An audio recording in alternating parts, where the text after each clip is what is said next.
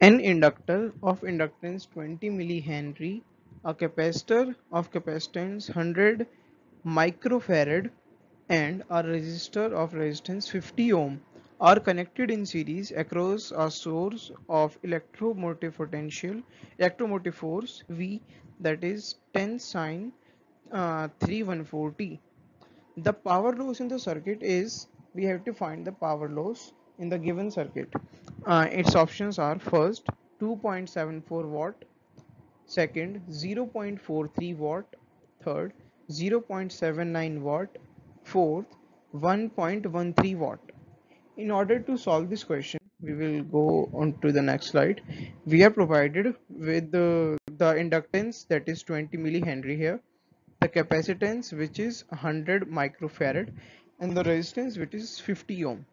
as we were provided with electromotive force that is V is equal to 10 sine uh, 314t so here V is equal to V naught sine omega t which gives out the value of V naught that is equal to 10 and omega t. So we uh, we find out the value of omega is equal to 314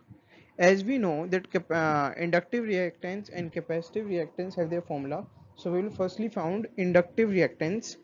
that is omega L now we will substitute the value of omega that is 314 and uh, the inductance that is 20 millihenry so which gives out the inductive reactance is equal to 6.28 ohm